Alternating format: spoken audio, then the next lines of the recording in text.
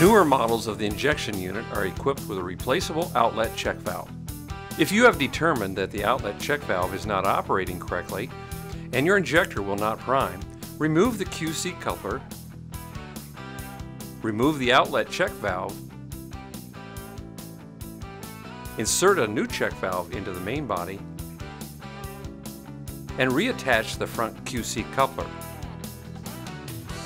If you have an older injection unit without a replaceable outlet check valve, contact your distributor.